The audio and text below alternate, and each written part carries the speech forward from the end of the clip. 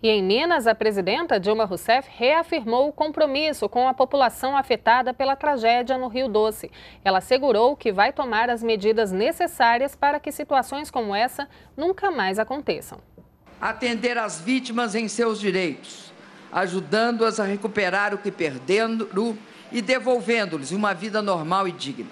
Responsabilizar aos culpados instituir a obrigatoriedade de recuperações e reparações, tanto por perdas humanas como perdas patrimoniais. A recuperação ambiental e física das áreas e dos mananciais atingidos, sobretudo, o Rio Doce, o nosso Rio Doce, tão importante para todos os mineiros.